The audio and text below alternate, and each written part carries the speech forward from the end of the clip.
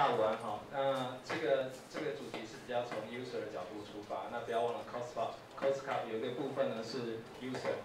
所以呢，我我过去有很多的机会能够跟工程师一起工作。我觉得，就我观察来看，如果能够做出一个在网络上有很多人用的东西，似乎是对工程师来讲最大的成就。所以相较于就是我们花很多时间去做了研发，最后没有人用。那我今天就从这个维普利跟计算机这两支球棒来跟大家分享一下。那我喜欢做网络创业，我现在是学校的老师，然后呢也推广这个 UX 的部分，然后我自己也是一个这个数字货币跟期货的交易者。那呃，如果只是讲案例的话，那个案例非常非常细啊，所以我呃这两天我们要重归了一个十三个设计原则，然后我用原则的方式，用这种经验法则来跟各位分享。那呃，也许你有用过维骨力，也许你有用过计算机，有用一个很快的速度放下的影片。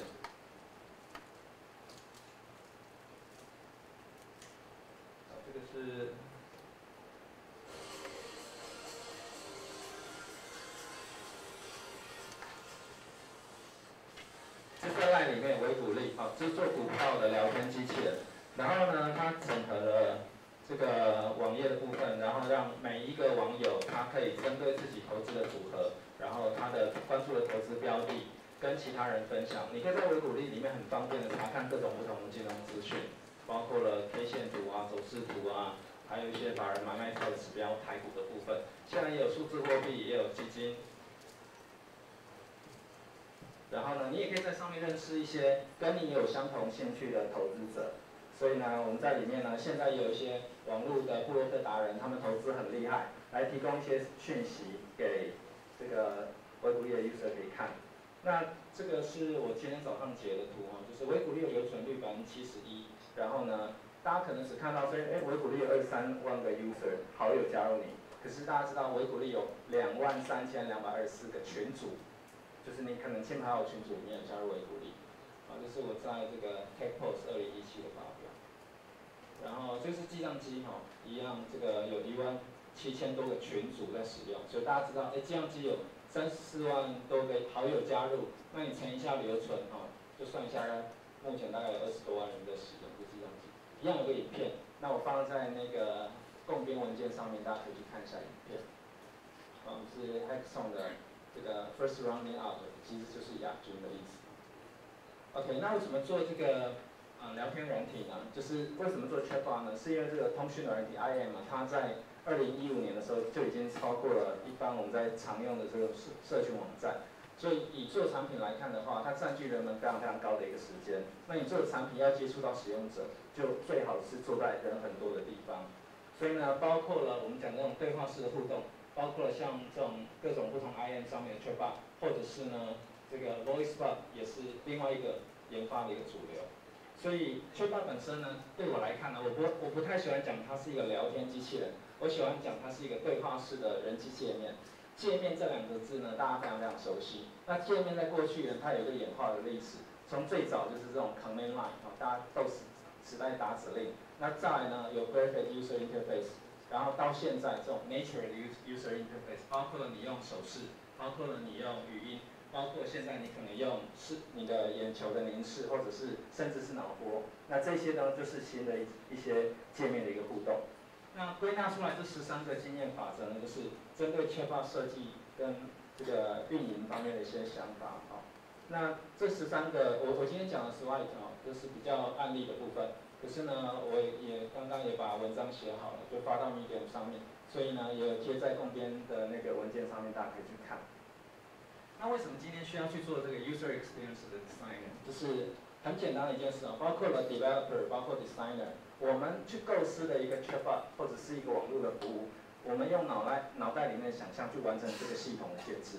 可是这个系统未来是要给谁用的？给 user 用的。所以呢，很简单的一个逻辑，设计师未必等于使用者。所以设计师如果不等于使用者，设计师设计出来的东西怎么刚好使用者会使用呢？所以呢，才会有 user experience 这个学科的科学的存在。我们要去了解使用者的需求，以至于你可以设计出好的 chatbot。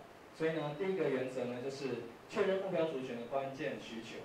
如果说你做的一个 chatbot，你是 demo 你的技术，demo 你的工具，我觉得很好。可是呢，如果你要做到商用，做到有人用，那你得先确定说你的缺霸做完以后是要给谁用，他为什么要使用？所以呢，以计量机来看的话，百分之七十是女性的族群，这是它的一些分布。那我们怎么知道使用者需求呢？在针对记账的这个族群，女性族群呢，它有一系列的跟记账相关的活动需求。那这些需求呢，它可能跟时间相关，跟事件相关，最后引导出来呢，就会发展出在确报上面不同的一个功能。所以设计是为了解决特定问题而存在的。那是维古利的这个 demographic 资料，就是呃男女分布的比例在这边。然后呢，比较特别的是维鼓励的 user 他是二十五岁到四十岁年轻族群为主，相较于现在证交所证券交易股票这些族群四十八岁，所以维鼓励的 user 是普遍比较年轻。那对于现在很多金融业在做呃数位转型来看的话，能不能让金融业去掌握到未来？的那批使用者，也就是现在年轻族群非常非常重要所以年轻族群也许在获取这种股票金融资讯，还有一种新的互动方式。可是投资这一事啊，非常非常复杂，它是你脑袋里面的一个说服过程。所以现在人们怎么做呢？两个方向，一个是你自我修修炼，你可能看这个看节目啊，看书自己学习；另外一个就是付钱或者是找人来来协助你。那所以呢，你在过程里面呢，你有想的想买的股票，然后呢，你你一系列的思考、决策、判断。直到某一些事情产生了，你才会去马上打开你的 APP 做交易。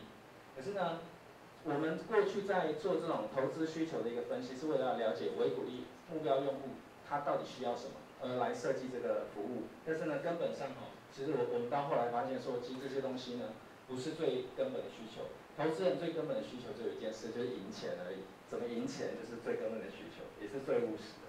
那第二个原则是哈。App 的成功并没有办法直接复制，哈，所以呢，我们可能会想说，哎，我今天呢，在这个 App 上面有什么服务，交友服务啊，或者金融服务很好，我在 Chatbot 上面也做了一个一模一样的服务，但这个单纯只是就技术上的转移而已啊，有很多时候呢，在 Chatbot 上面，使用者跟机器的互动是完全不同的，然后更重要的是呢，现在做 Chatbot 如果是工程版本，我们做上线。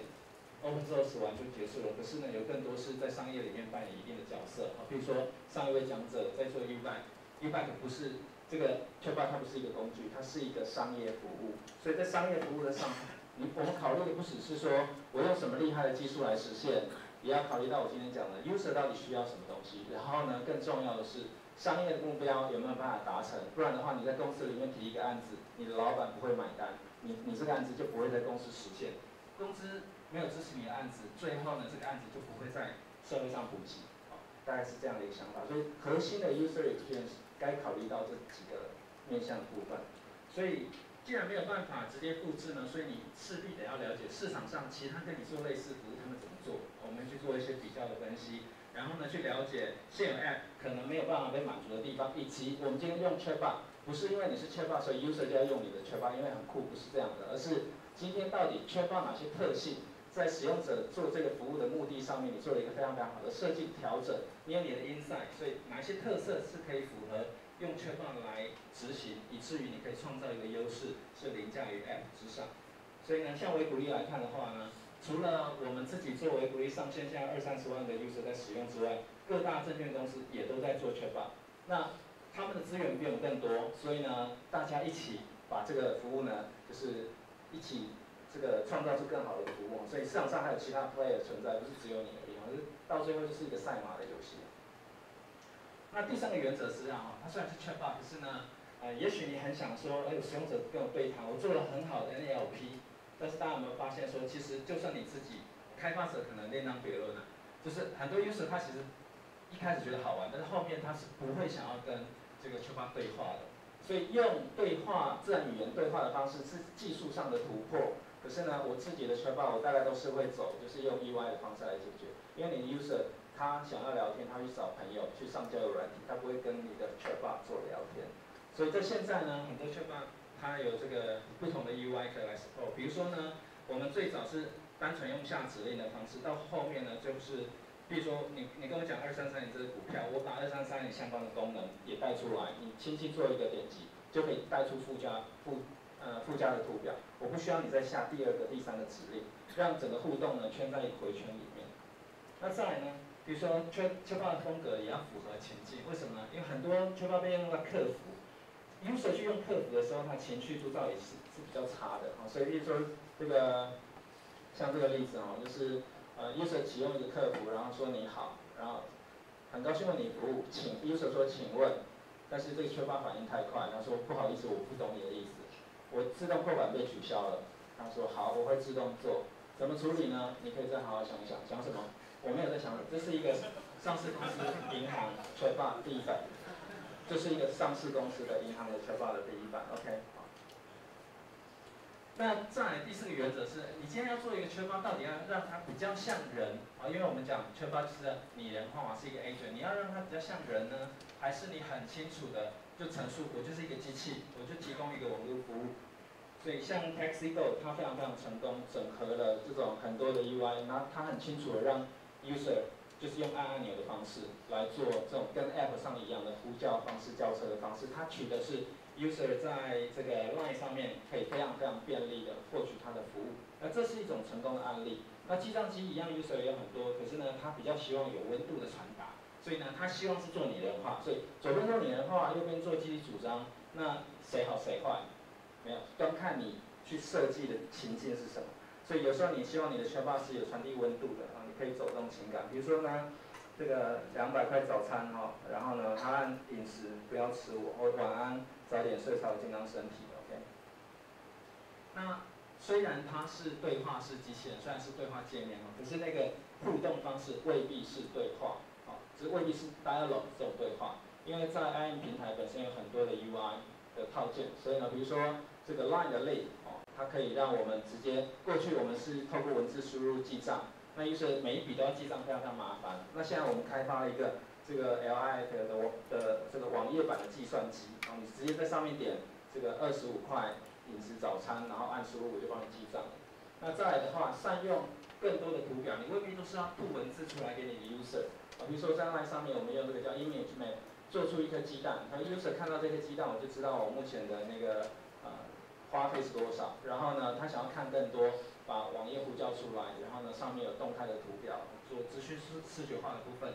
那这个就是整合了 Image Map 跟 Mobile Web 的一个 UI 的一个呈现。哦，所以不限于我一定要用沟通的方式。哦，那这是维鼓励的例子啊。我们让每一个使用者，他可以在上面选用不同的 Rich Menu 啊。这 Rich Menu 包括了不同证券公司或基金公司啊，所以长相也可以设设定。那第二个原则呢是这个。在所有权上呢，因为 Chatbot 它拟人的嘛，所以呢，你要让人类感觉到是人类至上。所以呢，我们在这个所有权上面应该回归到 user 本身。比如说呢，有 user 会在客服讲说，哎，我我记错了，或者我我想要重新重置我，我不要用记账机，我要重置了。所以怎么办呢？我们跟他讲说，你就打小鸡班，小鸡班，小鸡班，打三次哦，你的那个账务就全部不见了。当然这是第一版了哈，第一版。第二版不是打四次啊，第二版是加入，你是不是确定？所以需要需要查证一下。那再来的话呢，哈，这是界面设计啊，大家会往，比如说我要做 material design 啊，或者是我要做 flight design，我要做的非常非常简洁美感，这个很好。可是呢，在 U UX design 它有几个层级需要去考量。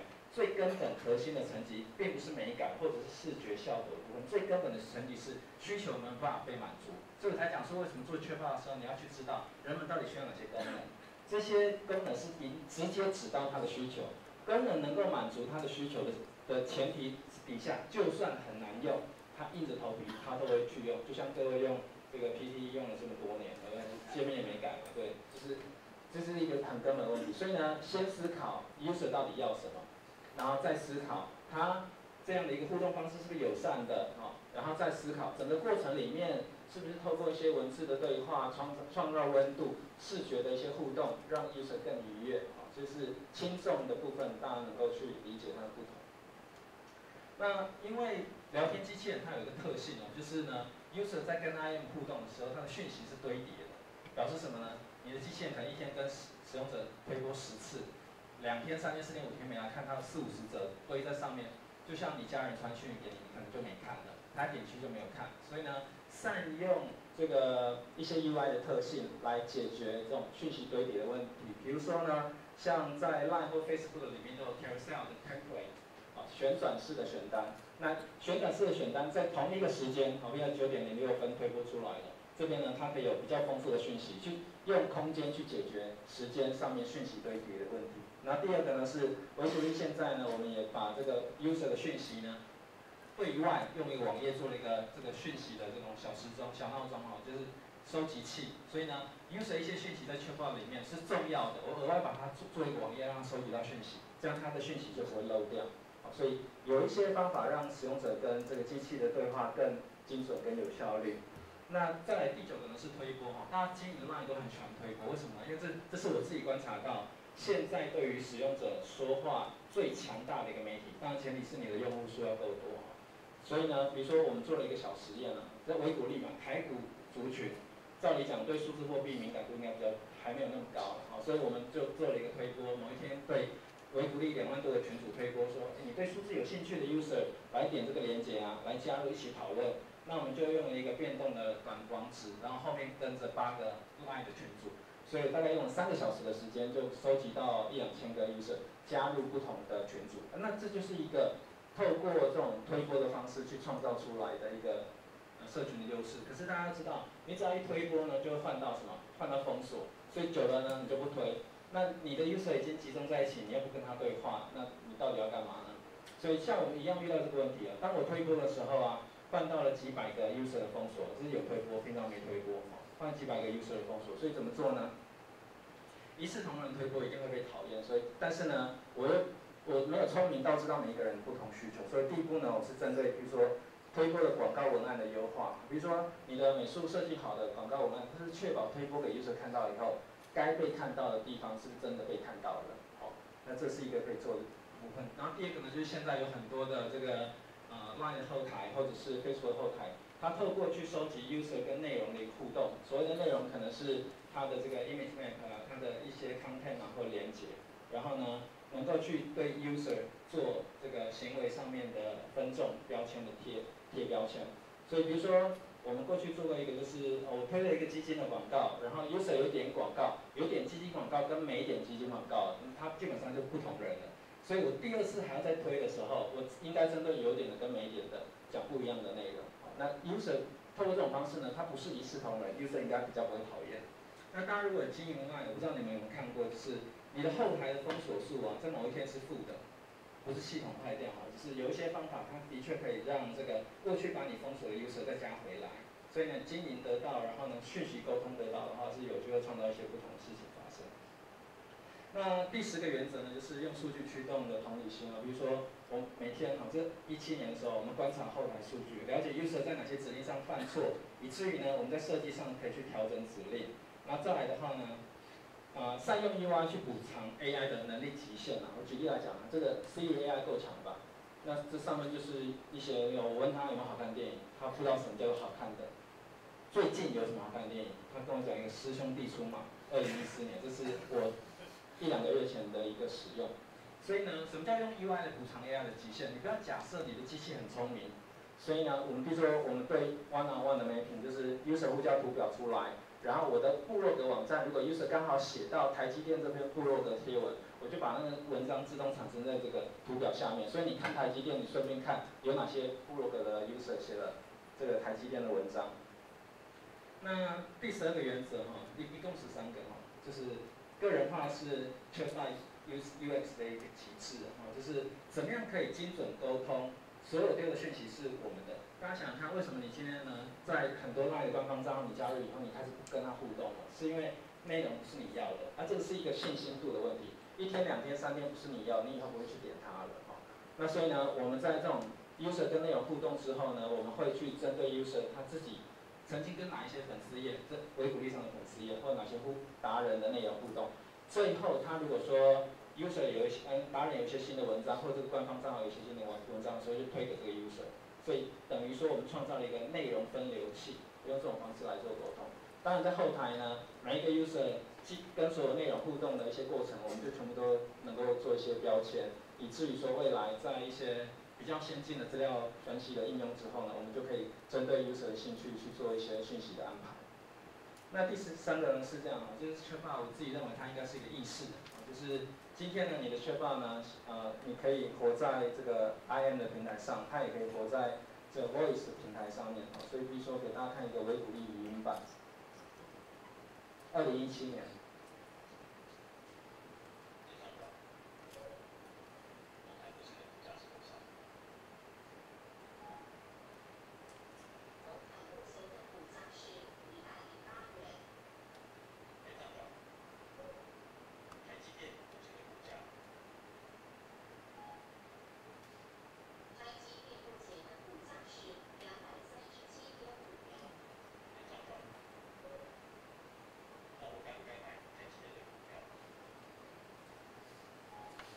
想比较久。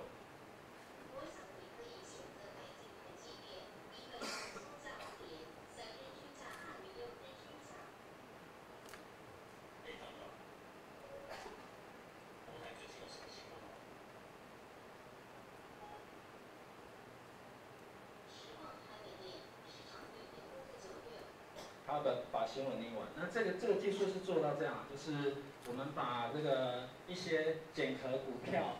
好坏的一个指标把它列出来，所以它其实只是做到一个 check checklist。所以一个股股价被问到的时候，我去检核说我手上比如说五十个指标，假设它大于百分之四十五十六十以上是正面的，那我就跟 user 讲说是正面的。可是呢，这个项目为什么在二零一七年之后就没有在内部继续推动呢？大家可以想一下为什么？因为你们家里现在二零一九了，你们家里有 voice call，你们是就是我们大家是工工程或最新最接近科技的，我们家里都没有，那民众家里怎么会有？所以这是我讲技术跟商业的考量，在这边你要去思考，就是做完的东西没有市场的话，它终究不会有人用的。那这是计算机开源计划，几秒钟耽误小，就是我们三十万的 user，然后呢，它也还算受欢迎啊，就是网低卡网友蛮喜欢它的。所以呢，我们有一些理想，哦，是希望未来计算机可以有更好的一个走向。只是呢，现在呢，这个要做到这么多的事啊，它需要有很多的。时间、资源跟热情的人一起投入，所以呢，我们想把计算机做一个开源的计划，做三件事情。第一个呢，是一个像 Gmail Lab 的功能，大家可以在上面做更多的一些记账的功能来做延伸。那对你有什么好处呢？比如说可以发展一些健康商业模式，比如说 Premium 或者 Advanced 方案，计算机 user 启用，然后呢，我可以有一些收费的机制，user 就看他想不想付。那再来的话呢，就是针对这群 user，他是轻理财的族群，那我们是不是有一些？可能不是记账本身的一些想法，比如说像凯基银行在我们上面去做了一个付手机费啊，所以大家都需要付手机费。那你在记账机里面付手机费，那也算是一种在我们的生态里面做创新。那第第二种方式，那第三种是 Line 啊，在日本啊、印尼、泰国呢，都是 IM 排名第一把交易的。所以呢，有没有机会我们一起来做一个项目，然后呢，把小鸡能够带出国？所以啊，会非常欢迎各个不同专业的人加入我们。然后。台北商业大学育成中心，我现在也负责，所以啊，如果你有创业的想法，是金融科技主题的，欢迎加入我们台北商业大学育成中心。那有兴趣都可以联络这个 email。热情掌声，感谢吴教授跟我们来的精彩分享。